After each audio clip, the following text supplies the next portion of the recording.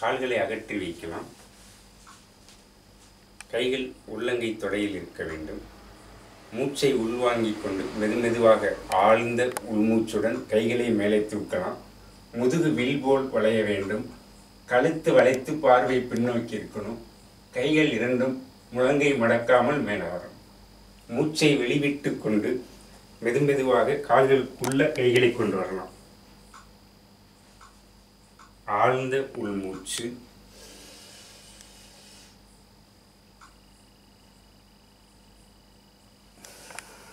ஆழ்ந்த வெளிமூச்சு ஆழ்ந்த உள்மூச்சு